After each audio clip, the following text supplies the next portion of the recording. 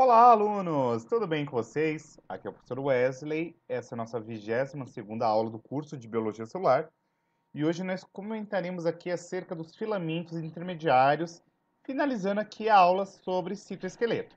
Então vamos lá? De antemão, quando a gente pensar agora em um filamento intermediário, ele está diretamente atrelado a uma situação de resistência a estresse físico.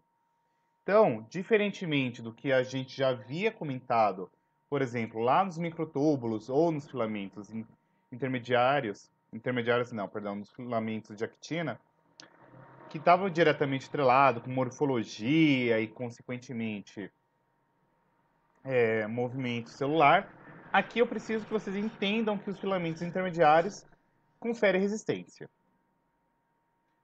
E, simplificadamente, quando vocês vierem a pensar num filamento intermediário, entendam que se trata justamente de uma rede formada aqui na região do citoplasma que se estende desde o núcleo até a periferia da célula.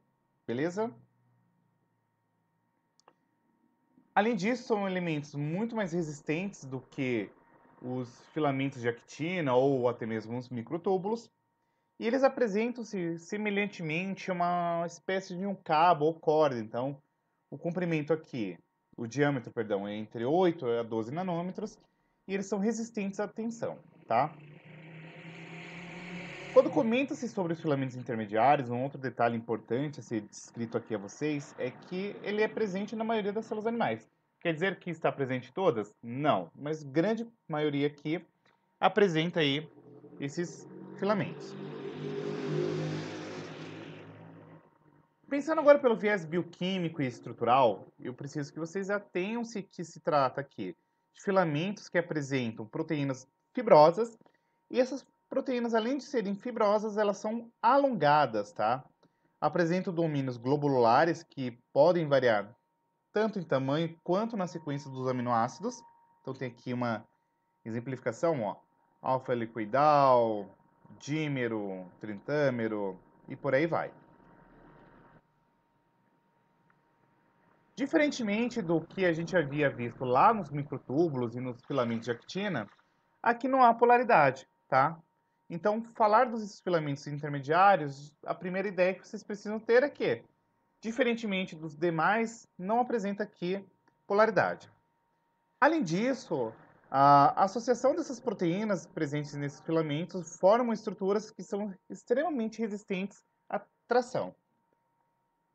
Além disso, são estruturas extremamente estáveis, encontradas predominantemente na forma polimerizada. Pensando agora sobre a questão de localização, elas predominam aqui na região citoplasmática das células animais e também no interior do núcleo, o que vai ser importante, por exemplo, para formar a lâmina nuclear que nós já havíamos descrito em outros momentos aqui do nosso curso, tá? Então, ela se estende desde a região nuclear até a região aqui da membrana. Então, vocês percebam já de antemão que tem uma, uma distribuição ampla aqui pela região citoplasmática. E pensando aqui no núcleo, está aqui diretamente estrelado com a formação da lâmina nuclear, beleza?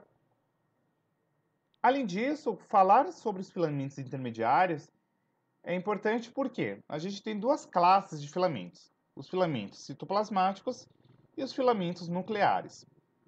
Sobre os filamentos intermediários citoplasmáticos, nós temos aqui as queratinas, que é o grupo mais disperso, diverso, perdão.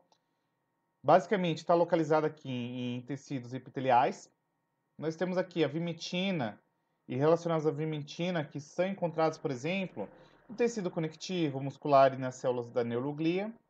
E nós temos aqui os neurofilamentos, por exemplo, presentes em neurônios. Por fim, os filamentos intermediários nuclear, nucleares estão aqui atrelados com as lâminas nucleares e está presente aqui nas células animais, tá?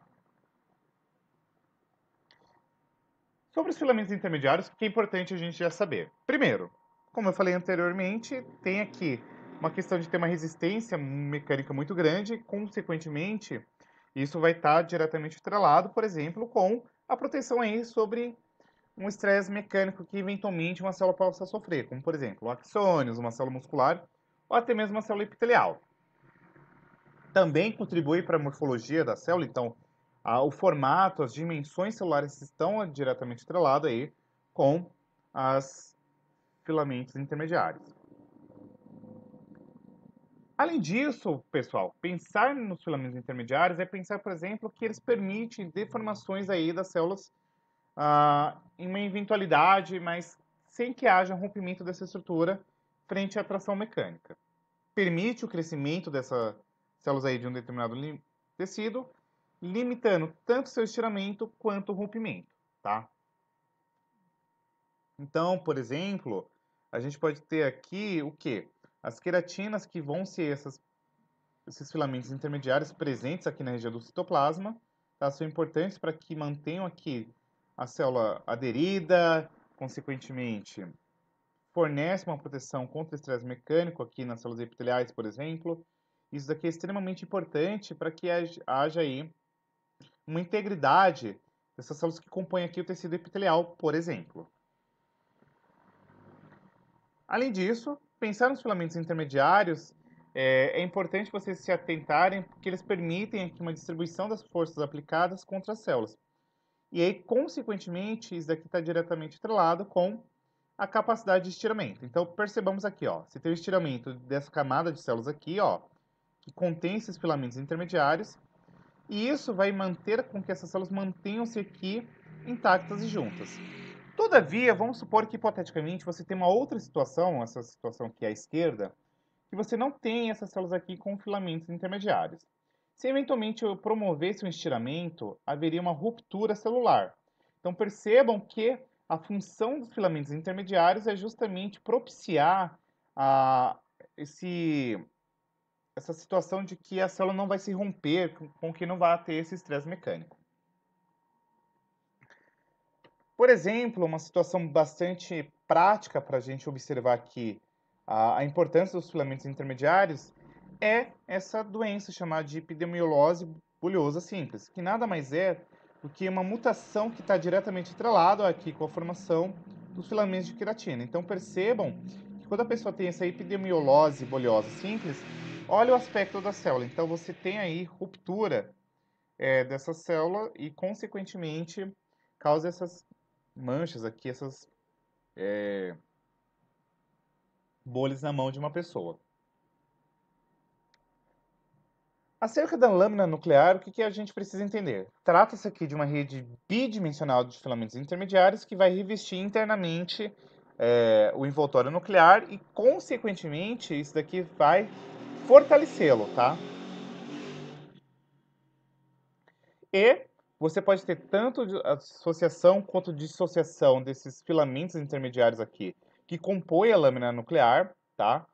E isso daqui está diretamente atrelado a quê? Se você tiver uma fosforilização dessas lâminas, você enfraquece a associação entre esses tetrâmeros, tá? Então, fosforilou, enfraquece. Desfosforila, você é, fortalece isso aqui.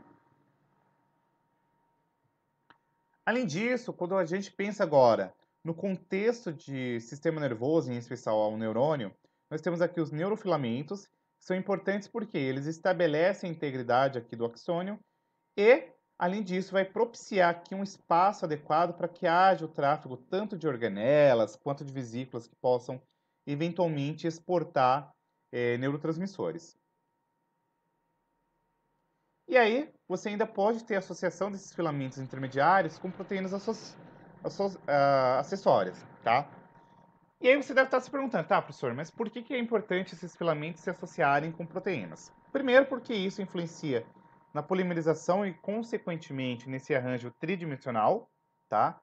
Quando essas proteínas acessórias elas estão ligadas aos filamentos intermediários, você tem uma estabilização e um exemplo clássico aqui, por exemplo, é a plectina, que é uma proteína acessória que se associa aos filamentos intermediários, tá?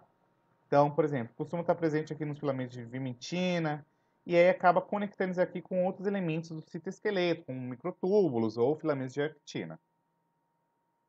Então, por exemplo, ó, olha que coisa linda. Você tem aqui um filamento intermediário, aqui outro filamento intermediário, e você tem aqui as plectinas. Então, percebam que ela estabelece esse elo de união. E se eventualmente você tiver uma, uma eventual mutação aqui no gene da plectina, você pode ter, por exemplo, ruptura da queratina da pele, distrofia muscular, ruptura de neurofilamentos. E esses neurofilamentos, quando eles se rompem, levam a um processo neurodegenerativo. E aqui tem uma súmula de tudo aquilo que a gente já havia descrito em aulas anteriores. Aqui os filamentos de actina, os filamentos intermediários e os microtúbulos. A composição proteica dos filamentos de actina são os monômeros aqui de actina G. É uma estrutura instável. Ah, os filamentos intermediários são estáveis. Os microtúbulos são instáveis. As localizações aqui e as principais funções, tá? E a literatura adotada para a aula, novamente, foi o Alberts e o Junqueira. E muito obrigado e até a nossa 23ª aula, que vai falar acerca de apoptose e necrose. Um super beijo e até lá!